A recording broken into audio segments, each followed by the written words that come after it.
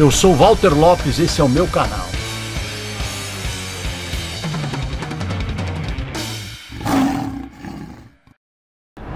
Fala gente, é, essa história de hoje aconteceu em Londrina, é, na porta das lojas Filadélfia. Um dia eu cheguei, a gente tinha uma parceria, ainda tem uma parceria muito legal com a galera da loja, e eu cheguei e tinha um, um moço, um menino dormindo, né? um moço dormindo é, debaixo da marquise ali. E eu estacionei o carro, e como eu sei que eles trabalham à noite, a gente chegou a trabalhar bastante tempo, tanto eu como o Wallace, é, distribuindo comida, né? É, lá em Londrina e fazendo esse socorro à galera de rua, é, eu não quis incomodá-lo. Mas quando eu estacionei o carro e fechei a porta, eu, ele acordou. E aí eu pedi desculpa, falei, oh, velho, me desculpa, não queria te acordar, eu sei que você deve ter trabalhado a noite toda, né, carregando, buscando latinha, né.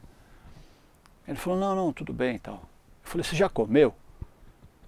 Ele falou, não, ainda não. Você está com fome? Ele falou, tô. Eu falei, vamos, vamos tomar um café? E ele aceitou.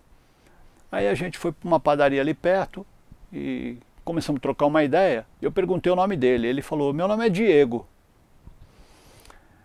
E aí a gente começou a trocar uma ideia. Eu procurei saber da vida dele, né? E, e era gozado porque eu ia conversando com ele, ele ficava me olhando e tal. E aí eu perguntei ao Diego: Por que, que você está me olhando assim? Ele falou: Posso fazer uma pergunta? Eu falei: Pode. Ele falou: Cara, você não é o Valtão, cara que tocava no G3? Aí eu me assustei. Falei, é, eu sou Valtão, mas de onde você conhece o G3? Ele falou, pois é, cara, eu, eu fui criado no orfanato. E no orfanato cristão a gente ouvia o G3 direto, todo o tempo. E aí ele, da bolsa que ele andava, ele tirou um caderno com todas as letras do G3 e me mostrou e falou, ah, cara, eu, eu ainda guardo as letras da banda e tudo. Eu falei, puxa cara, que legal. Então você conhece Jesus? Ele falou, é, eu, eu ouvi falar do Evangelho e tudo. O problema é que eu fiz 18 anos e, e aí já, já não podia mais ficar no, no orfanato e tive que ir para a rua aí. Desde então eu moro na rua. Já morava na rua há mais de 10 anos. E aí aquilo realmente mexeu com o meu coração. Eu disse, pô, cara, você não quer mudar de vida, não quer sair da rua? E ele falou, eu quero. E aí eu liguei para Angélica e falei, ó, encontrei um, um moço assim, assim, assim. E Deus sabe como faz as coisas, né? Quando ele me deu a Angélica como esposa, ele sabia do coração dela que é muito parecido com o meu. Ela falou, olha, traz ele aqui para casa e eu levei o Diego para casa. Ele estava tão fedido que a gente teve que abrir todos os vidros do carro para poder aguentar ficar com ele dentro do carro. Mas a gente levou ele para casa, deu banho, a Angélica cortou as unhas dele. É, eu lembro que a gente saiu, eu levei ele no meu barbeiro, né? O Léo, na época, era a barbearia Prado na rua Pernambuco, lá em Londrina. Paguei o corte deixei o Diego, né? E aí levamos ele lá para o Meprov, na época não tinha uma vaga no Meprov.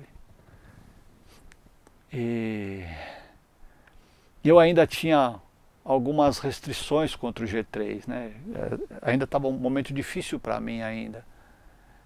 E Deus começou a tratar comigo através do Diego. E o Diego pegava o violão e só cantava G3, velho. Ele tocava o caminho, e tocava o tempo, e tocava todas as músicas do G3, todo, o, o, todo momento que ele, que ele podia, ele cantava e tocava. E aí não foi disponibilizado o momento da, da internação, porque não, não existia a vaga. Nós tínhamos que esperar. E, e aí eu acabei trazendo ele para casa. mas foi um momento de restauração na vida dele e Deus usou ele para transformar o meu coração também. É, infelizmente, naquele momento, o Diego não segurou a onda. Ele ficou conosco apenas alguns dias e, e depois ele foi embora. Mas eu tenho certeza que a mensagem da cruz ficou no coração dele. E quando eu reencontrei a galera do G3, que eu vou contar essa história daqui a pouco, é, eu lembrei da maneira como Deus usou o Diego para lançar essa semente dentro do meu coração. Essa é a história de hoje.